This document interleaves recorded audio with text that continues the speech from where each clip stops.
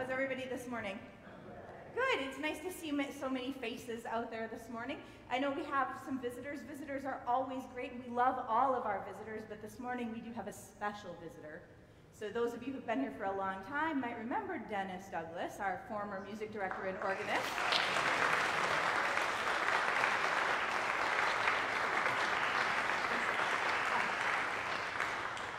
Don't know Dennis, he's a great guy, and he's going to be playing with us a little bit this morning, but he's here worshiping with us as he's uh, away from Florida for just a little bit uh, for a class reunion. Uh, so make sure you say hi to him after worship is over, even if you don't know him. Um, a great place to do that is out in Koinonia, where we will have a little bit of coffee and fellowship. There are some treats out there and things to happen, so you can grab your cup of coffee. If you feel more comfortable, take it outside into the courtyard so that you can um, be outside with your coffee and your donut and um, say hi to all of our visitors, uh, but specifically to our former music director, who I'm so pleased to have here this morning. Uh, we also have Pastor Larry with us again this morning uh, because uh, Pastor Elisa left on Saturday with uh, Pete Bowl and all of the kids that are on their way to Big Sky Ranch in Colorado. And as we get going this morning, they have a very, very brief message for you. You should be able to hear and see them on the screen. Go. Go. Because of you, St. Stephen's, thank you. Because of you, St. Stephen's, we're on our way.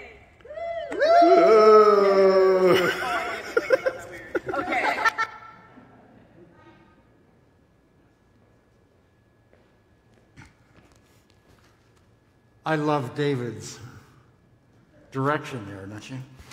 Um, I wanted to add my welcome. I am Larry Henning, as, as Rebecca said, and I am your adjunct, part time, mostly retired pastor. But this is the second week in a row I've been among you which is a great privilege. It's almost like I'm a real pastor.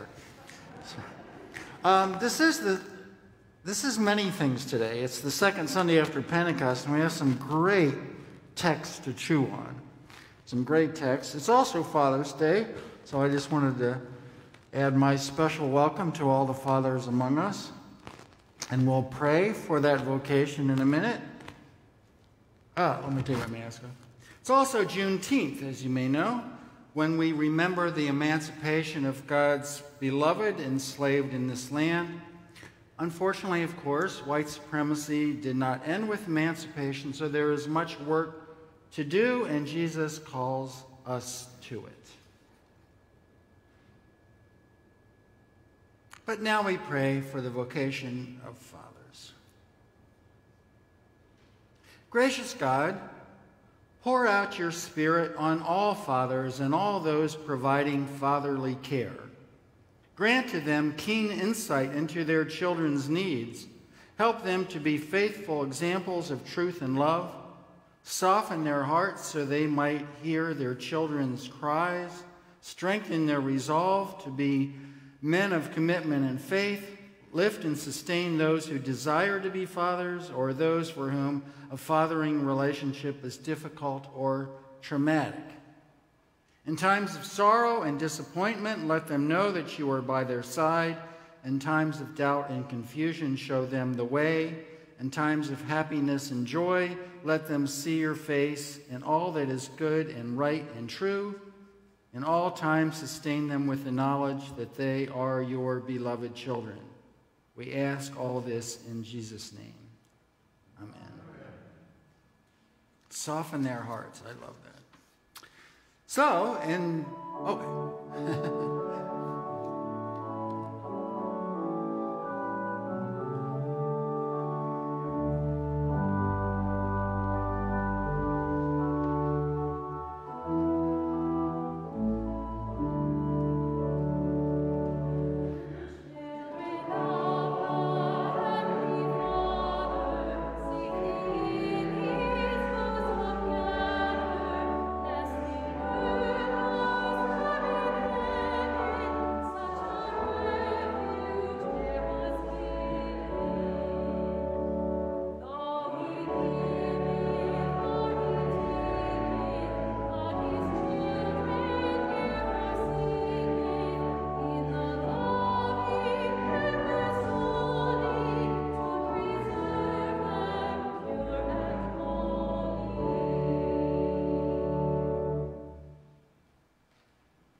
you to face the font and let us confess our sin in the presence of God and of one another.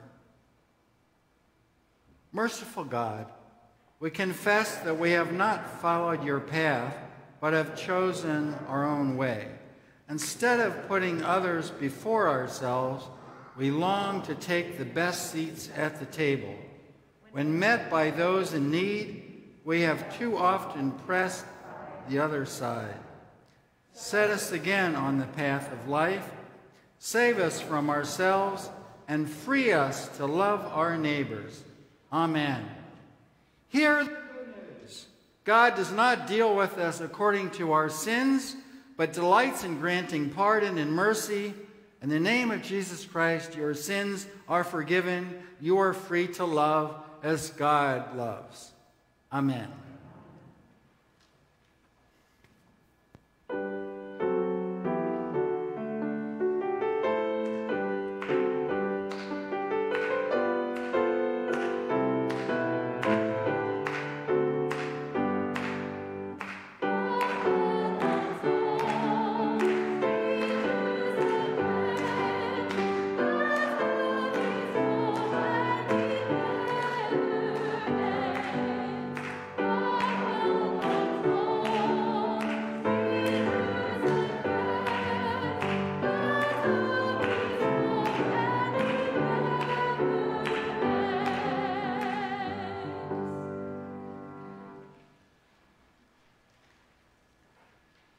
Felt like I needed a little drum there. The grace of our Lord Jesus Christ, the love of God, and the communion of the Holy Spirit be with you all.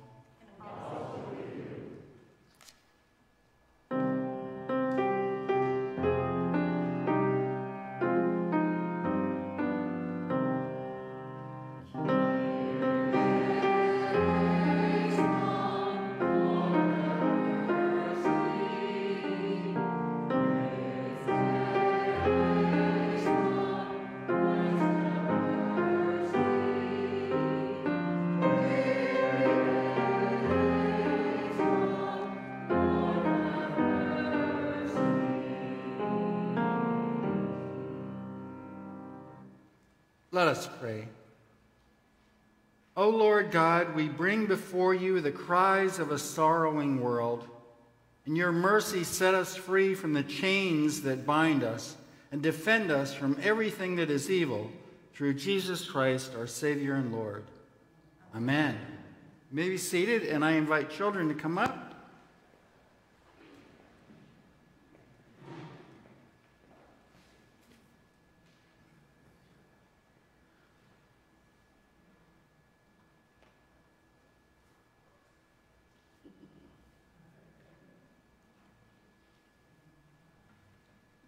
Borrowed this from Pastor Elisa. Matthew, you're my, you're my uh, congregation this morning. So welcome to you and all children who may be listening. Freedom. That's what I wanted to talk about this morning. Do you know what freedom is? What is it?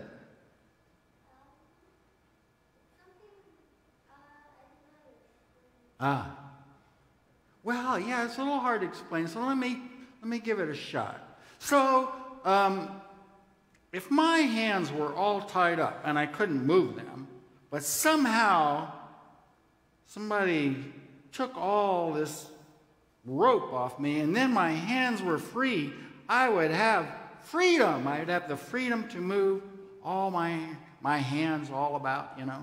So that's freedom.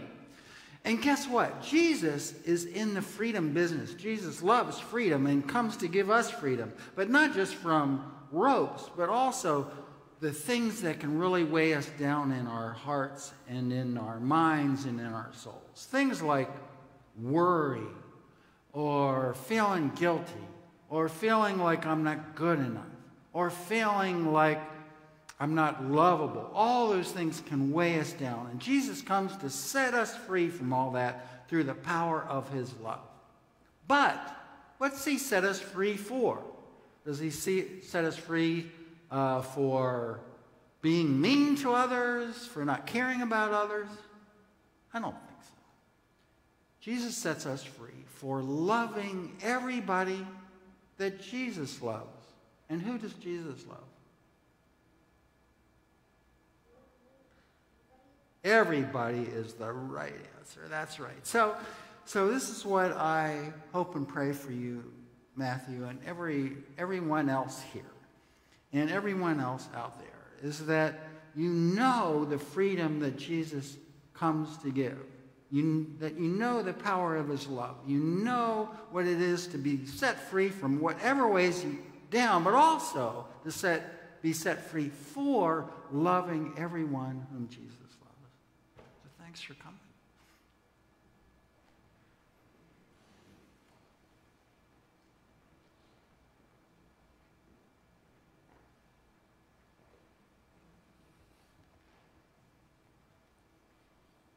A reading from the prophet Isaiah.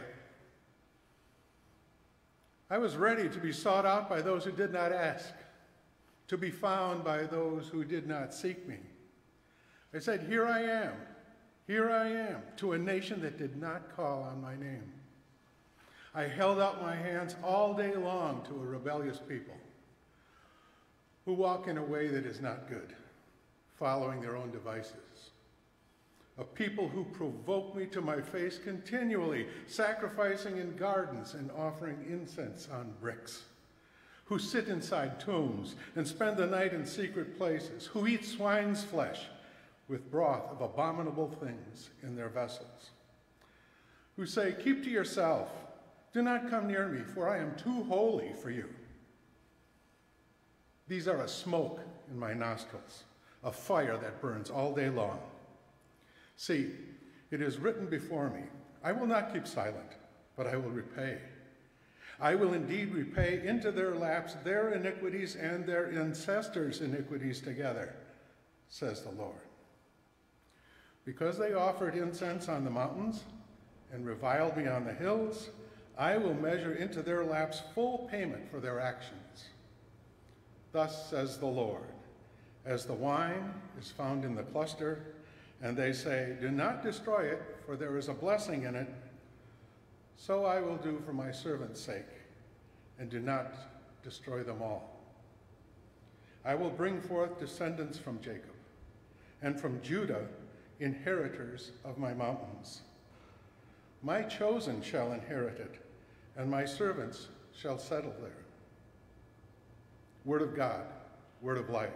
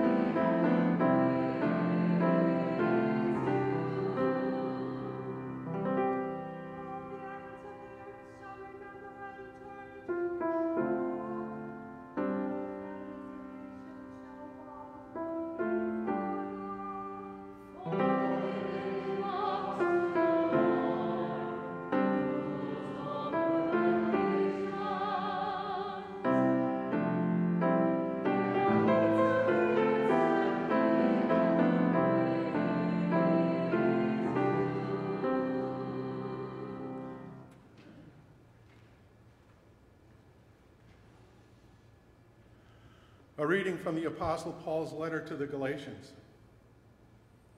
Now, before faith came, we were imprisoned and guarded under the law until faith could be revealed. Therefore, the law was our disciplinarian until Christ came, so that we might be justified by faith. But now that faith has come, we are no longer subject to a disciplinarian, for in Christ Jesus you are all children of God through faith.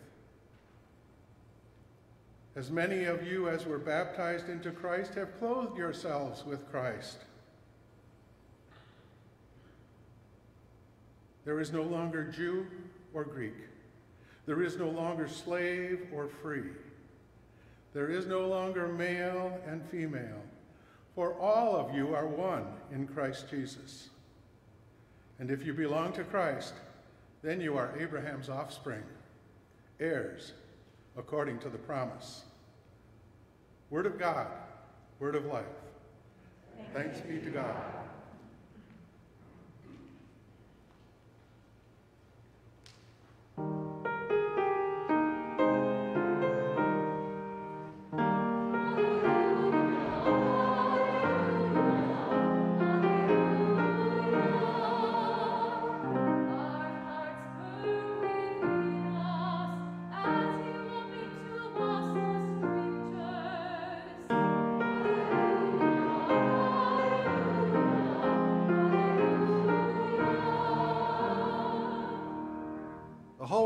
Gospel according to Luke.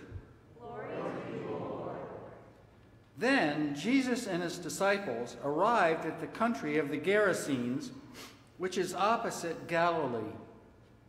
As he stepped out on land, a man of the city who had demons met him. For a long time he had worn no clothes, and he did not live in a house, but in the tombs. When he saw Jesus, he felt fell down before him and shouted at the top of his voice, What have you to do with me, Jesus, Son of the Most High God? I beg you, do not torment me. For Jesus had commanded the unclean spirit to come out of the man. For many times it had seized him. He was kept under guard and bound with chains and shackles but he would break the bonds and be driven by the demon into the wilds. Jesus then asked him, What is your name? He said, Legion. For many demons had entered him.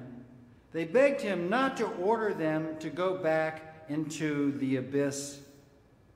Now, there on the hillside, a large herd of swine was feeding, and the demons begged Jesus to let them enter these.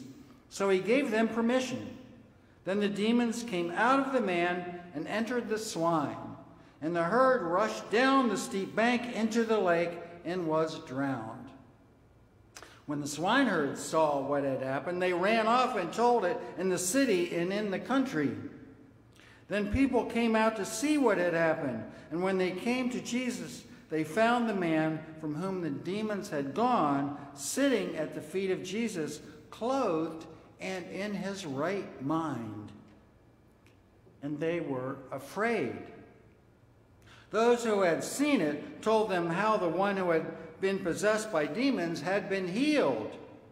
Then all the people of the surrounding country of the Gerasenes asked Jesus to leave them, for they were seized with great fear. So he got into the boat and returned. The man from whom the demons had gone begged that he might be with them, but Jesus sent him away, saying, Return to your home, to your home and declare how much God has done for you. So he went away, proclaiming throughout the city how much Jesus had done for him. The Gospel of the Lord. Praise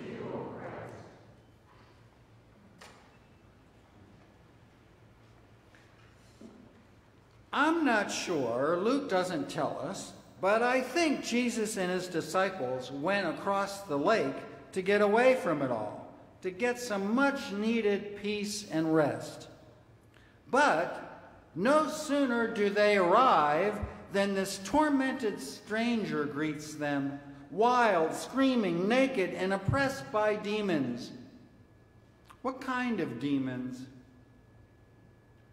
most of the time, I've thought about his demons as personal, you know, the kind of demons that can wreak havoc in our souls and in our lives trauma, self hatred, hopelessness, addiction, etc. But some scholars point to an interesting detail in this story that might mean that these demons were something beyond the personal. Check out verse 30. Jesus then asked him, What is your name? He said, Legion. So, legion was a Latin term, comes from the Latin, for, for a unit of 6,000 Roman soldiers. For my fellow veterans here, that's about the size of a U.S. Army brigade. So, these scholars say that the term, the technical term legion, means that the demonic forces uh, oppressing this soul weren't just of the individual, personal kind, but point to systemic oppression, like you'd experience under Roman occupation. Well, I don't know if these scholars are right or not, at least something to think about. What I do know for sure is that Jesus is in the liberation business and works to set his beloved free from whatever oppresses them, whether we're talking personal demons or systemic forces. So, vacation or not, when Jesus encounters this tortured, beloved soul, he has to set him free from whatever is oppressing him. Because, I said, as I said, Jesus is in the liberation business. As he stepped out on land, a man of the city who had demons met him for a long time, he had worn no clothes. He did not live in a house, but in the tombs. When he saw Jesus, he fell down before him and shouted at the top of his voice, What have you to do with me, Jesus, Son of the Most High God? I beg you, do not torment me. For Jesus had commanded the unclean spirit to come out of the man. So, yes, this is a story of liberation, a wonderful story. But it also has to be said the story is also a bit strange as well. And to me, the strangest part is not the man in bondage to demons. It's not even the pigs running off the cliff. No, to me, the strangest part of this story is the reaction of the locals. Then people came out to see what had happened. And when they came to Jesus, they found the man from whom the demons had gone sitting at the feet of Jesus, clothed in his right mind. Great, right? No, they were afraid. Those who had seen it told them how the one who had been possessed by demons had been healed. Then all of the people of the surrounding country of the Gerasenes asked Jesus to leave them, for they were seized with great fear seized with great fear. Jesus had just healed this poor tortured man, just liberated him from his bondage. And how do the locals react? Do they celebrate? No. They tell this Jesus from across the lake to get out of town, for they were seized, oppressed, out in bondage themselves with great fear. Why? What are they so afraid of? Well, maybe it was just the strangeness of the whole episode. I have seen a lot of strange things in my time, but I've never seen demons jump out of a person into a bunch of pigs that run off a cliff. Never seen it. And so my hunch is neither have these people, so maybe they were just a little freaked out. Or maybe they were like a lot of Lutherans and were a little afraid of change. Now, I don't know how much compassion they had for the tormented man. I'd like to think at least some. But my hunch is that mostly they were scared of him. And they had their own way of dealing with their fears. Guard him, chain him, keep him in the tombs. That's the way they always did it. He might have been a demon possessed soul, but he was their demon possessed soul, and they'll handle him their own way. Thank you very much. But along comes this Jewish rabbi from across the lake who sets him free, liberates him. And in the process, the pigs run over the cliff. The pigs being their main source of livelihood, it must be remembered. And I can guarantee that some people in that crowd whispered to each other, We never did it this way before. So maybe they were just afraid of change. But maybe the fear ran deeper than that. Maybe it wasn't just because this healing was different, strange even. Maybe, just guessing, mind you, because Luke doesn't tell us, but maybe what frightened them most was the freedom, the freedom this healing rabbi brought. And I think that fear of freedom could have been there whether the man's demons were personal or systemic. Speaking of fear of systemic liberation, I've been so troubled lately by the backlash to LGBTQ liberation, including the threat of violence at pride events this month, including anti LGBTQ legislation legislation moving through state capitals in recent days, including the persecution we see in Russia and Hungary and elsewhere. The liberation movement for LGBTQ folks has made major advances in recent years. And St. Stephen's, I'm proud to say, has been part of that advance. And I believe that Jesus is Jesus, in the power of the Spirit, Jesus, named or unnamed, has been in the thick of it all, working for the liberation of his beloved, just as surely as he worked for the liberation of this poor soul and the Gerasenes. But, just as people were seized with fear at the liberation of the man in our story, so some people are seized with fear at the liberation of sacred siblings in the LGBT community. Why? I wish I knew. I have a PhD in counseling psychology and a master of divinity, and it's still a mystery an awful mystery. I'm not a Freudian, but maybe Freud was onto something with his ideas about homophobia, which literally means fear of same sex relationships. Seized with fear, dangerously seized with fear. And I'd love to hear your thoughts and wisdom about why there is such fear of LGBTQ liberation. But for the moment, I'm going to move from the systemic to the individual. Let's think about the fear of freedom that can operate in personal in regard to personal demons. If Jesus could liberate this wild, tortured man from his demons, just think what he could do with the ordinary demons in all those people's lives. Now, wouldn't it be good to be liberated from those demons as well? To be set free from those chains?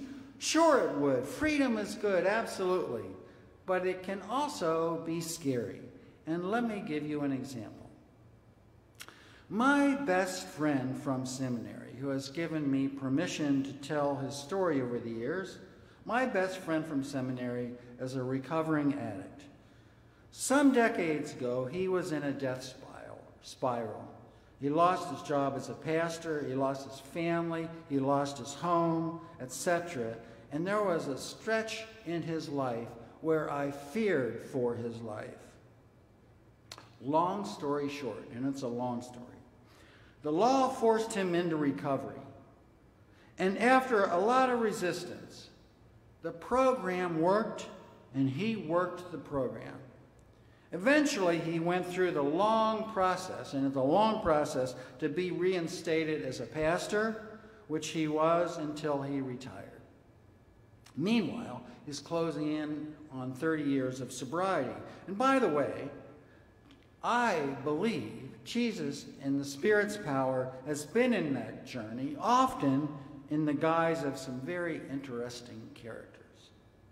Anyway, my friend has told me about the fears he faced of being liberated. The freedom of sobriety was wonderful, he told me. but it also scared him because he was not only set free from his addiction one day at a time, but also free for some scary stuff, including stuff in his 12 step program. Free for fessing up and facing up, free for trying to make amends, free from, for reopening his vulnerable heart, free for the risk of hope. So, yes, freedom can be scary, including and maybe especially the freedom Jesus offers. Because Jesus' freedom, as I was saying to Matthew, is never just freedom from, it is always, always, always also freedom for. At the same moment, Jesus works to set us free from the ultimate power of sin and death and demons, ordinary, systemic, and otherwise. He also sets us free for bold, courageous, and compassionate discipleship, which can be scary indeed if we take it seriously. Just think what if Jesus came and met us right here, right now, this morning? Came here right now to liberate us from whatever chains us down. That would be a great and wonderful thing, right? Set us free from our demons, but wouldn't that also be a little bit scary? Set free for sacrificial service to those Jesus puts in our way, set free for a cause greater than ourselves, set free for opening our hearts to the painful needs of the world, and oh my, is the world in pain? Well, guess what? In the power of the Spirit, Jesus has come to meet us this very morning. He has come right here, right now, to liberate us from whatever chains us down and has come to liberate us for the risky adventure of following Him. And so, what should we do with this liberator? Should we follow the lead of the people in our gospel, give in to our fears, and chase this Jesus out of our lives? Or should we, scared or not, let him free us from our demons and let him free us for new life and trust that he will be there with us every step of the way in the adventures he has in store for us? What do you say we take a risk on freedom? His freedom freedom from old demons, freedom for new life.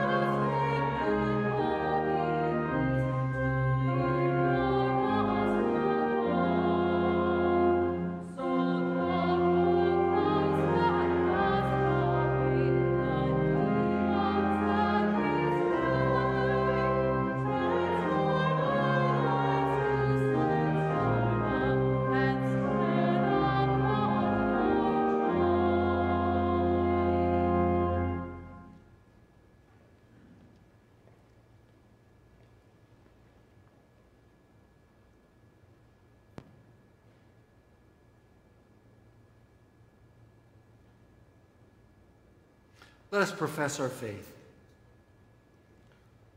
We are not alone. We live in God's world. We believe in God, who has created and is creating, who has come in Jesus, the Word made flesh, to reconcile and make new, who works in us and others by the Spirit. We trust in God. We are called to be the church, to celebrate God's presence, to live with respect in creation, to love and serve others, to seek justice and resist evil, to proclaim Jesus crucified and risen, our judge and our hope, in life, in death, in life beyond death. God is with us. We are not alone. Thanks be to God.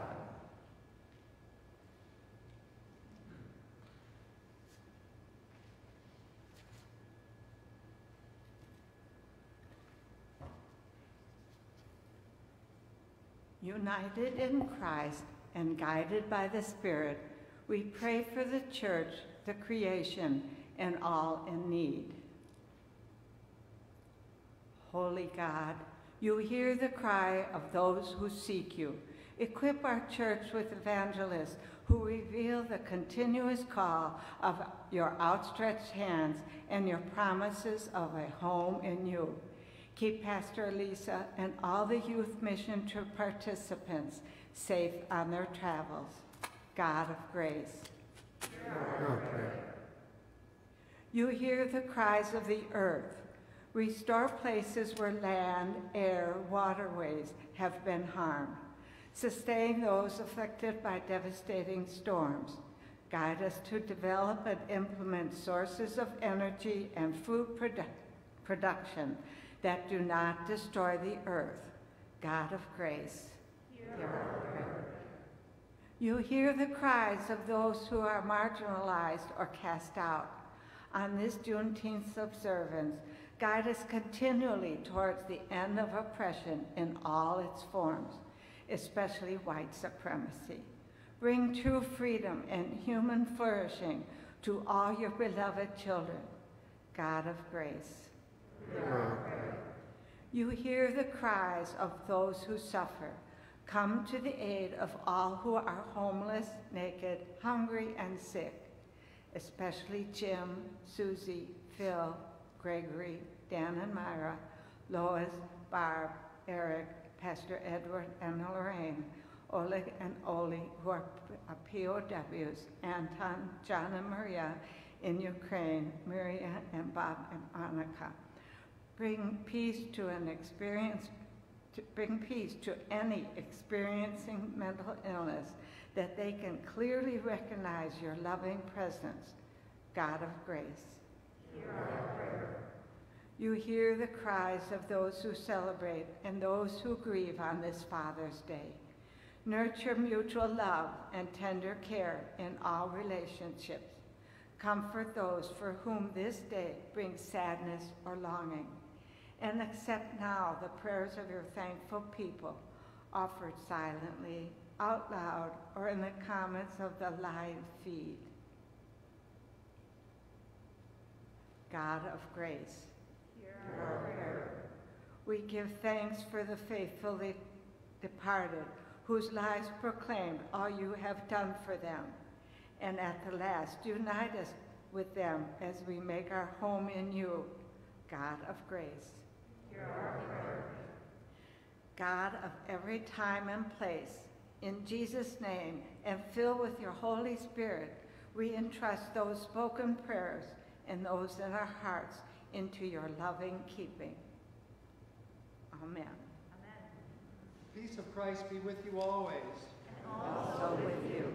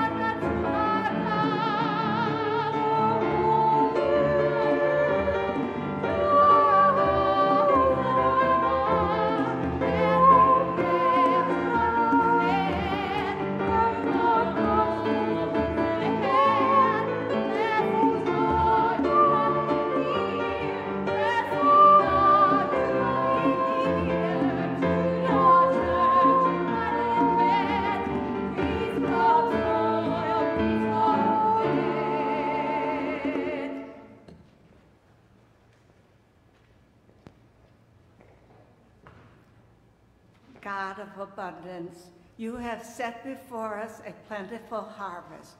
As we feast on your goodness, strengthen us to labor in your field and equip us to hear, bear fruit for the good of all.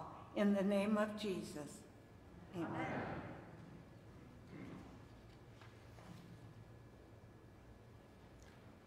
The Lord is with you.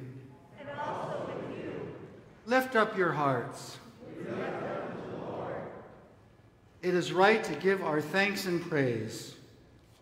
It is right to give our thanks and praise. Right, it is. Holy God, our Maker, Redeemer, and Healer, in the harmonious wor world of your creation, the plants and animals, the seas and stars were whole and well in your praise. When sin had scarred the world, you sent your Son to heal our ills and to form us again into one. In the night in which he was betrayed, our Lord Jesus took bread, gave thanks, broke it, and gave it to his disciples, saying, Take and eat. This is my body given for you. Do this for the remembrance of me. Again, after supper, he took the cup, gave thanks, and gave it for all to drink, saying, This cup is the new covenant in my blood, shed for you and all people for the forgiveness of sin. Do this for the remembrance of me. Remembering, therefore, his acts of healing, his body given up, and his victory over death, we wait that day when all the peoples of the earth will come to the river to enjoy the tree of life. Send your Spirit upon us in this meal. As grains scattered on the hillside become one bread, so let your church be gathered from the ends of the earth, that all may be fed with the bread of life, your Son. Through him, all glory and honor is yours, Almighty Father, with the Holy Spirit, in your holy church, both now and forever. Amen. Gathered into one by the Holy Spirit, let us pray as Jesus taught us. Our Father in heaven, hallowed be your name. Your kingdom come, your will be done, on earth as in heaven. Give us today our daily bread. Give us our sins as we forgive those who sin against us. Save us from the time of trial and deliver us from evil. For the kingdom, the power, and the glory are yours, now and forever. Amen. In Christ's presence there is fullness of joy. Come now to the banquet.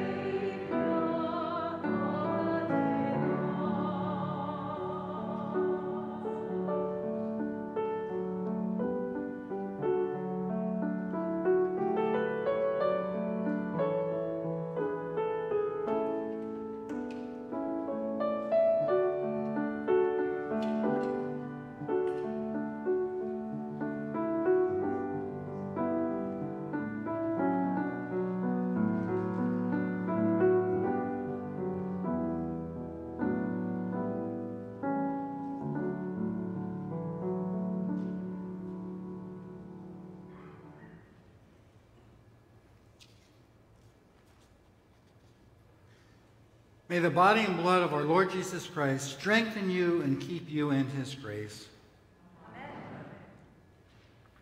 Life giving God, through this meal you have bandaged our wounds and fed us with your mercy. Now send us forth to live for others, both friend and strangers, that all may come to know your love, that we pray in the name of Jesus. Amen. God, the source of glory, God, the word of life, God, the spirit of truth, bless you all now and forever.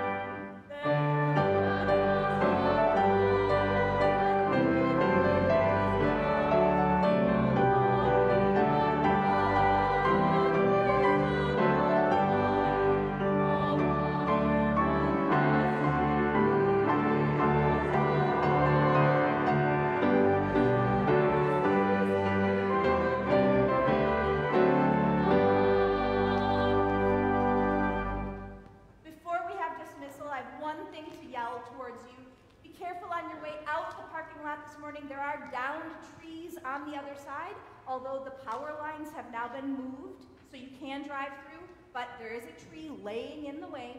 Just be careful. Good. Go carefully in peace. Love your neighbor.